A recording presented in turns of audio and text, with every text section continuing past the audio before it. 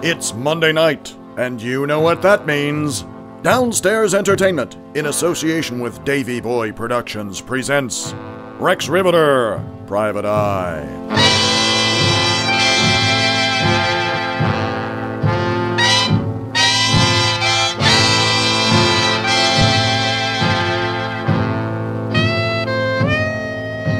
This season builds on the characters and plot lines from previous episodes, so if you haven't caught up, we recommend you go back and listen to the episodes that you missed. We'll be here when you get back.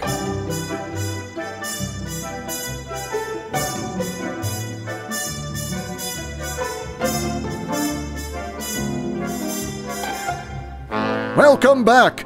And now, ladies and gentlemen, Rex Rivetter Private Eye in part one of The Long Con.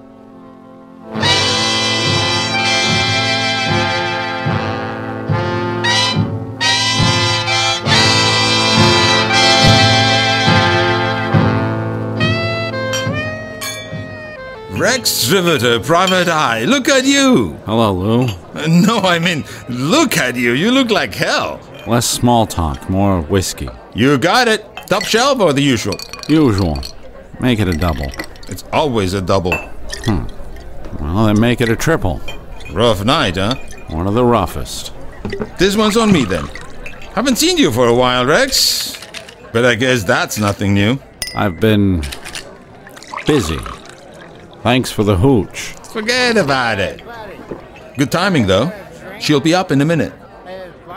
Hey, look. I gotta help this joker down at the end of the bar.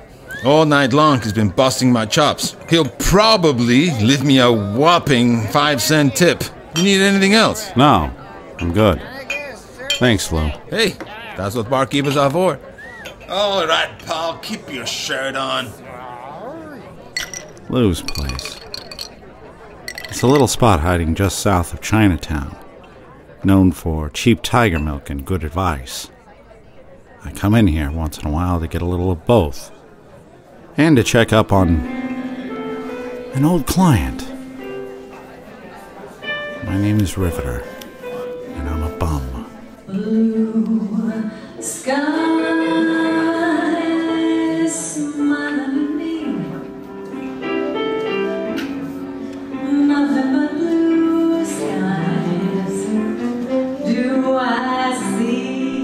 Four years.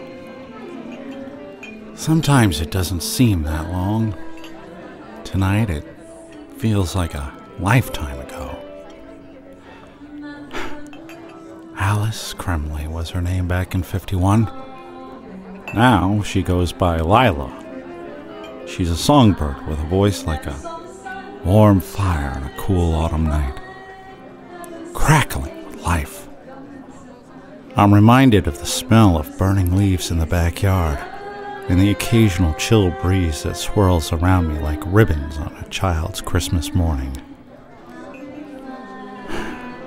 The man staring back at me from the mirror behind Lou's bar wears a grimace. Memories of things that never were. He's got on my suit, but there's a tattered bandage around his head, and he looks like he hasn't slept since spring. I turn away because I don't recognize him, and it's impolite to stare at strangers.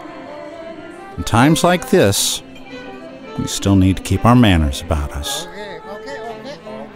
Lou wrestles the lug at the end of the bar into dropping a couple of greenbacks before pouring any more suds. After the transaction, I watch the barkeep sling a rag over his shoulder and saunter back over to my little spot at his watering hole. She sounds good tonight, yeah? Always does. Yeah, but tonight, she's earning her dough. Always does. Things are going good for her. You know what I'm saying? She brings people in. Something about her voice. You know what I mean? Yeah. She, um. She plays short sets, though. But it's okay. Gives people more chance to have a snort. She's making your fortune. I get it. Short sets, Rivetter. Sometimes only one or two songs. And once in a while, she comes up here for a little refreshment. Club soda. But nobody else knows that. She's still on the straight and narrow. Good for her. Are you hearing me, Rex? She comes up to the bar. Right where you're sitting, maybe. You think I should leave? You normally do. You come in, you sit over there in the dark corner and have one drink. But tonight, she's got herself a steady beau, you know. Big fella. Good guy, far as I can tell. He comes in most nights and walks her home. I can't get a read on you, Rivetter. Never could. But tonight, something's different. Different? Yeah. You always struck me as one of those slow fuse kind of guys. And underneath it, there's always this slow heat, like things could boil over given the right amount of pressure, I guess. Seen some things in your line, I would imagine. But tonight, I get nothing from you. No boil, no fuse. I've seen empty guys walk in here. Happens once in a while. Fella gets canned from work, or his old lady is making time with the milkman. But you. You're like that Claude Rains fella and the Invisible Man. You're here, but you ain't. Maybe it's just the bandage. I gotta tell you, I'm not sure I like what I'm seeing. It's a little spooky. I'm only mentioning it because, well, I got a business to run, you see, and I like you, you know, for a gumshoe. But I don't want any trouble in here. You understand me? Sure, Lou. I understand. I'll go. Nothing personal, Rivetter. You're a good Joe, too. What you done for Lila is, well, neither of us will be here where we are without what you've done. But I got responsibilities and all. Ah, forget about it, Lou. It's all in the past. What do I owe you? Nothing, pal. Just take care of yourself, okay? You really look like. Oh, hell. Rex? I see a reflection in the mirror behind the bar. She stepped out of the single spotlight on the tiny stage and is moving quickly through the smiling crowd. Rex Rivetter? I turn just in time. Lila throws herself into my arms and kisses me. She has to stand on her tiptoes to do it. My head begins to thrum. I tell myself it's from the drinks Lou poured, oh, or the two raps on my noggin I got from Pete. I'm a terrible liar. Alice Kremley settles back down to earth. I see concern in her eyes mixed with something I don't recognize. A few of the patrons stare at the scene. It is you. Oh, Rex, I'm so glad to see you. Hello, Alan. Lila, Lie? yes, of course. a slow dawning, remembering where we are and who she is. Show business, even on a small scale, is about the illusion. How how are you, Rex? Rex? He's great. He just stopped in to wet his whistle, ain't that right, pal? I'm fine, Alan. Lila, how are you? Me? I'm grand. Here, let me buy you a drink. It's the least I can do for an old friend. Lou set us up. Whatever Mr. Rivetter is drinking, and I'll have my usual. Are you sure? Come on, Rex. I've got a few minutes while the boys in the band cool their lips. Let's talk. Lila takes my arm and leads me to a booth and slides in next to me, never letting go.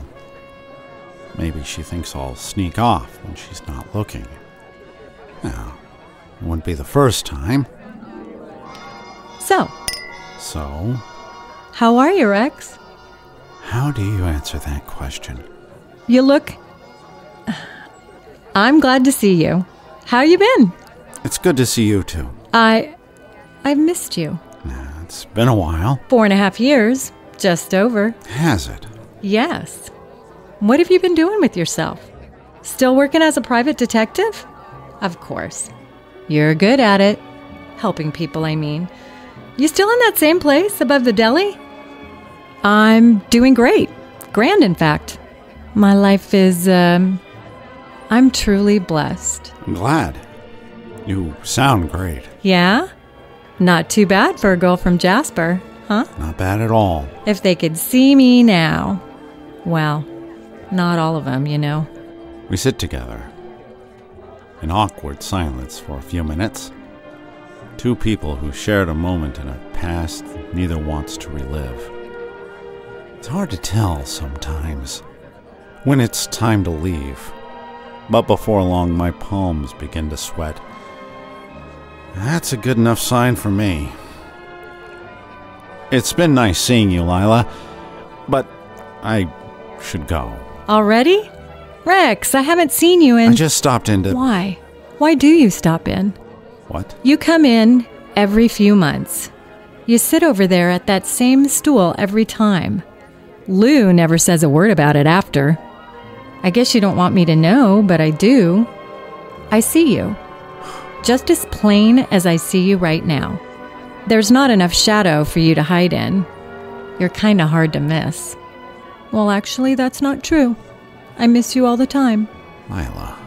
Why are you here tonight, Rex? Every other time you come in, you sit in the dark, but tonight you sat right up front.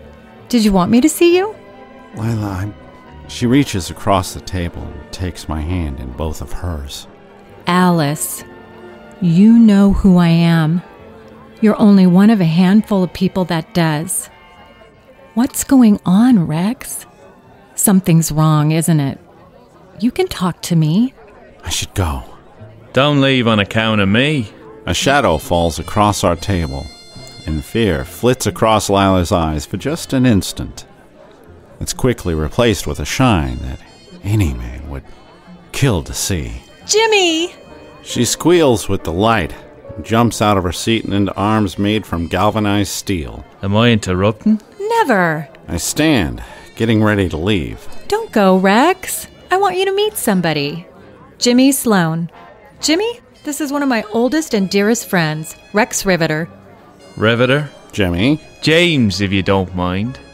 Only Lila here calls me Jimmy. Lila, you're up. Oh, that's my cue. Jimmy, be a dear and keep Rex company.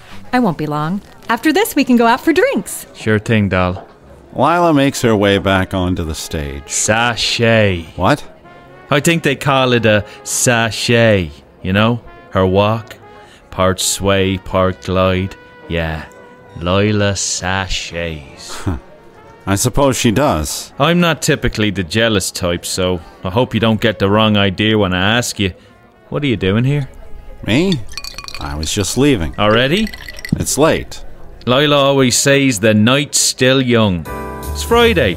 Thursday. Not everywhere. Somewhere it's Friday, right? Not here. I slide out of the booth and Jimmy shadows me to the door. Look, I'm gonna catch hell with Lila if I let you go. You're gonna catch hell with me if you don't. Oh, a tough guy. All right, mister. I guess I'll make your excuses to Lila. Do that.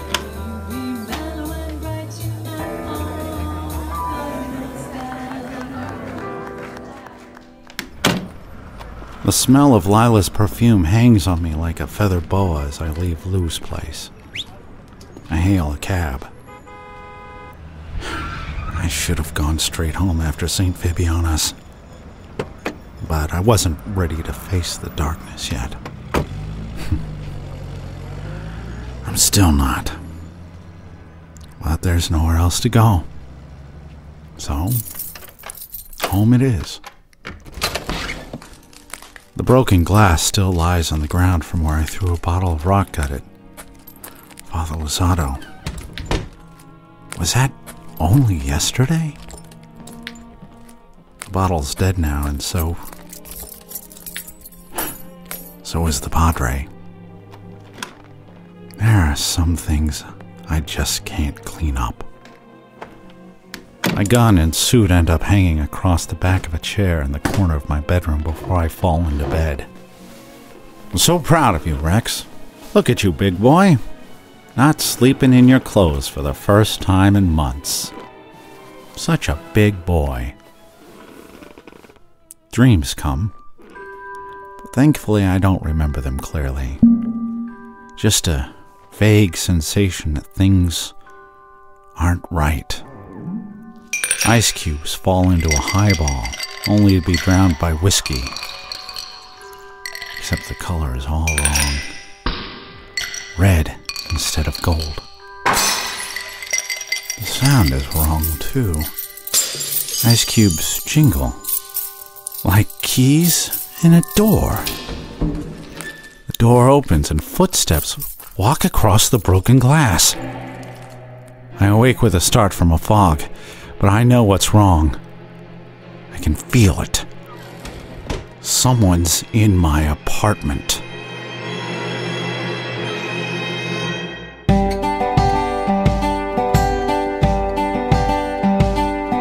Hi, this is Rhiannon McAfee. And this is Greg McAfee of Downstairs Entertainment. Greg and I are super nerdy. Speak for yourself. Uh huh. Yeah. Well, you'd be easier to understand if you took off your Batman mask while we're recording. Whatever. Anyway, Greg loves sprinkling historical facts, places, and stories all throughout Rex Rivetter. And Rhiannon loves being our dramaturg and putting together packets for our actors about all the history of Rex. It's that nerdiness and love of history that attracts me to shows like Timeless. And my love of the Old West and secret desire to be an old timey gunslinger that draws me to shows like Westworld and Hell on Wheels. Because I'm a bad mofo. I could have been Wyatt Earp. Yes, honey. Uh, or, or Doc Holliday. Uh-huh. Or Bat Masterson. I have no idea who that is. Clearly, you haven't made it to episode 12 of the Drift and Ramble podcast. I'm on episode 10, but I'll be there soon. The Drift and Ramble podcast is what your American history class should have been. Part audio drama, part history lesson, all entertaining. Steve Blizzen brings the tales of the Old West and American legends to life in Drift and Ramble every Sunday, with a new episode that explores the people, places, and stories that shaped a nation. If you love the Old West, you will love Drift and Ramble. You can subscribe to Drift and Ramble on iTunes or your favorite podcatcher. We love Drift and Ramble and think you will too. But for now, we'll ditch the Old West for 1955 and get back to the world of Rex Rivetter. I really could have been a gunslinger. Or Elmer McCurdy. Not funny. It's a little funny. Witty banter fading out? Honey, It says witty banter. That doesn't make any sense. honey, if it's in parentheses, you don't say it. It's, it's like a direction, like a Oh, stage direction. so oh not- God. You've been an actor for how many years? One? No, that's not true. Honey, can you just go back to the hole in the wall? Where are you? You mean the Batcave?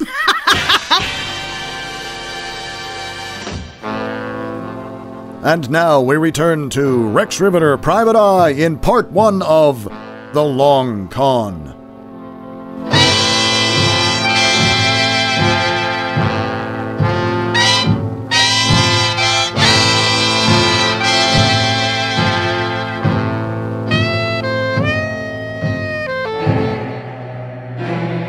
I wake with a start from a noise at my front door.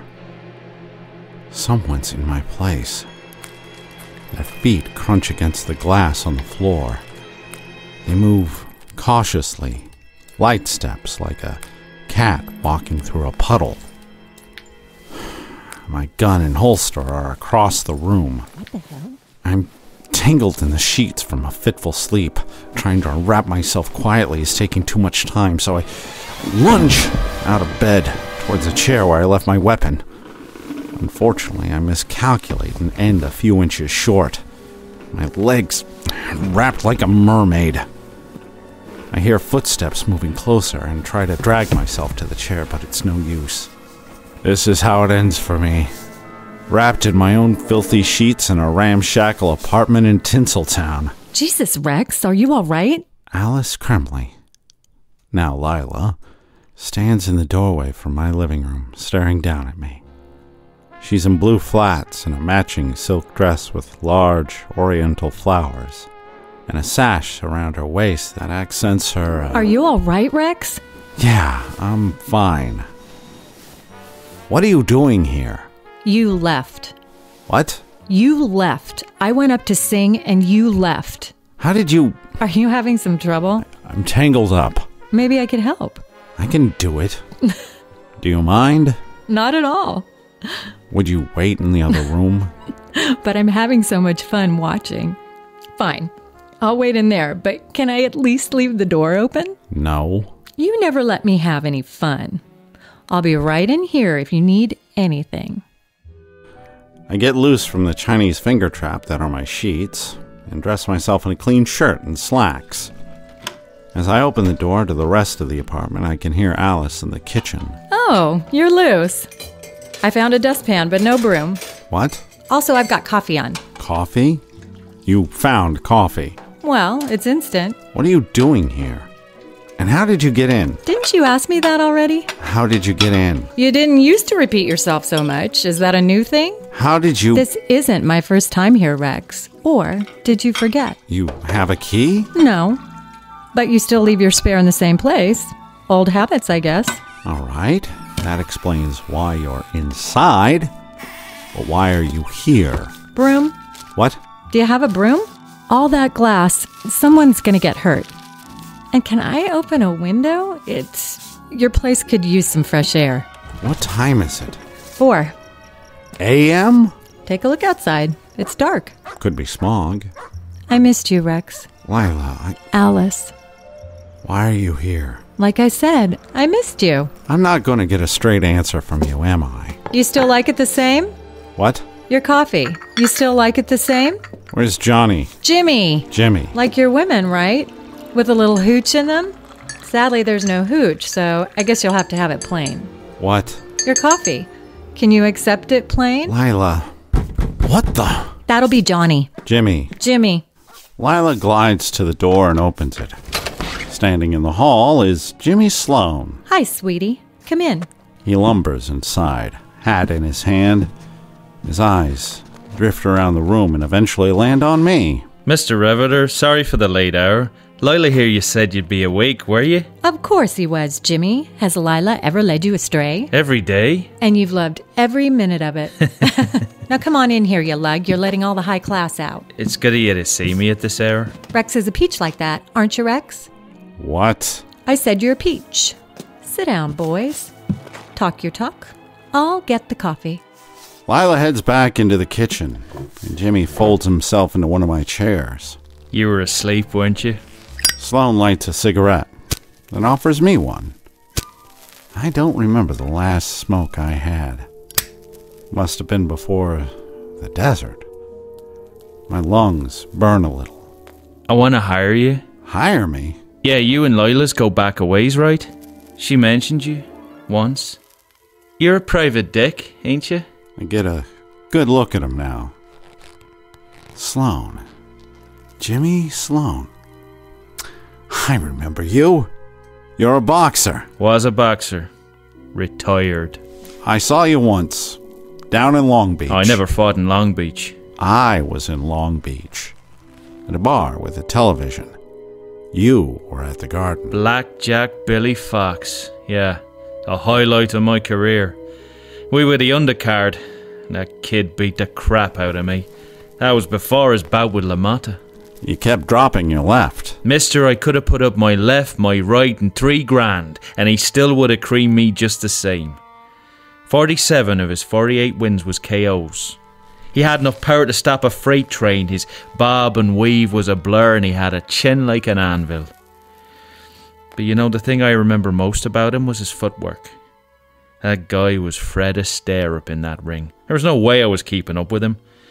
I think he could have taken LaMotta, even without the fix, but of course, Blinky had to be sure. Anyway, that's all in the past. See, I need your help. Sorry, pal. You, you got the wrong guy. What? Lila says you're a private snooper. Retired. Retired. Oh, okay. Sure thing, Rivetter. Uh, I guess, uh, well, Lila says you helped a friend of hers once. She said it was worth a try. Thanks anyway. Sorry for the trouble getting you out of bed and all. It's just, well, you don't want to hear. Me and Lila will go, let you get back to sleep. Helped a friend? Yeah, some girl she used to know. Got herself in a little bit of trouble with some guy. She said you helped her out. Says you're a good Joe, so I thought. Well, it don't matter. Hey, how about some advice? No, thanks. No, I mean for me. You know me girl a long time. Your girl. Well, I'd like her to be me girl, but I can't ever seem to get her to. Every time I think I might be starting to figure her out, she changes the game on me, you know what I mean? It's so frustrating. What's that got to do with me? Well, only person I see her talk to is Lou, and he ain't been much help. So, you got any advice? Look, Sloane, if she's with you, it's because she wants to be. You want to keep her? Make sure you do everything in your power to, to let her know you're glad she's there. Tell her every day. Never take her for granted. If she sticks around, it's because you're doing something right. Yeah. So you don't get her either, huh? Good luck, Sloane. He stands, and I wonder how thin the air is up there. He turns to leave, but pivots, again to face me. What do you know about boxing around here? I know the real action is elsewhere. New York, New Jersey, Nevada's becoming pretty big. Everywhere there's organized crime. Yeah, uh, about that. See, I was hoping to hire you to find me little brother. I think he might be involved with some bad people. Call a cop. You think I ain't? They told me there was nothing they could do. He's a grown man, mostly. I haven't heard from him in a couple of weeks, and I just want to make sure he's alright. If you ain't in that line anymore, maybe you know somebody that is. Look, what you got going on ain't none of my business. But if you point me in the right direction, I could make it worth your while. Worth my while? Sure. I made a couple of bucks in a poker game this afternoon and it's burning a hole in me pocket. What do you say to 20 bucks just for some advice? Twenty bucks? I know it ain't much, but it's all I got on me. You want advice? Spend your 20 on Lila. Your brother's old enough to get himself into a mess. He's old enough to get himself out. Yeah, he was supposed to be the bright one out of all of us. Except I think maybe he's got himself into something worse than he knows. Anyways, thanks, Rivetter. I didn't do anything. You didn't take me 20. It's likely that Lila was listening from the kitchen. She comes in with a tray and three cups of coffee. She sets it all down and serves Sloane and I, then takes her own cup, staring at me across it as the steam rises. So, did you boys miss me? I think maybe we should go, honey. Mr. Rivetter here ain't taking on any clients right now. Pish posh. You'll help, won't you, Rex? Look, I'm not really in that business Lila, don't do anymore. that, please. The man don't want to get involved. Can't say as I blame him. There's some rough people around this thing. I mean, if it were a fair fight in the ring, that'd be one thing, but these guys, they don't know what fair is, you see. They're not so tough. Tough guys don't call themselves by those kinds of names. Timmy the Squirrel and Handsome Johnny. Who has names like that? What did you say? I said, who has names like that? It's like they're in some kind of silly club and they give each other silly names. Handsome Johnny? Sure. And Greasy Fingers Larry and Tommy the Wizard of Odds Bamboozle. Are you sure? Isn't that one of them, Jimmy? Yeah, I heard his name somewhere, but I don't know how close. I'm in. See? I told you he would help. what? I'm in. And keep your dough, Sloane. This one's pro bono. I need to settle a score.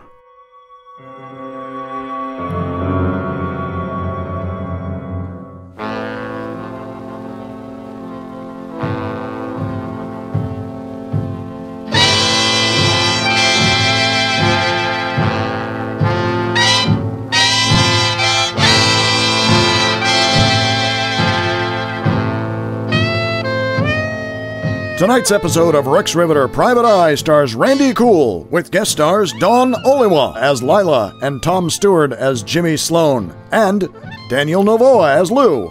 It was written by Greg McAfee and is transcribed in San Diego, California. Tonight's episode featured musical performances by the Dawn Oliwa Trio. Dave Casteldioro on piano, John Murillo on tenor sax, Isaac Crow on bass, and vocals by Dawn Oliwa. Rex Rivetter Private Eye was produced by Downstairs Entertainment with recording, sound, and editing by Davey Boy Productions. Rex Rivetter Private Eye is now a part of Fatecrafters Studios. Find other great shows at fatecrafters.net. The Rex Rivetter theme, Nightmare, by the Artie Shaw Orchestra, is used with permission of Music Sales Corp. Rex Rivetter is directed by Rhiannon McAfee with vocal, sound, and technical direction by Dave Rivas. If you enjoyed tonight's episode, please find us on the internet at www.dsentertain.com or on the Facebook or the Twitter. Next Monday, catch our recap show, Rivetting Conversations, wherever you listen to Rex for behind the scenes interviews with cast and crew.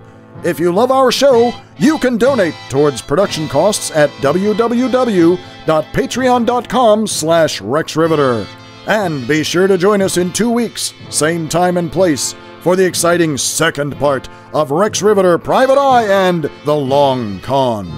For Downstairs Entertainment, this is Greg McAfee speaking.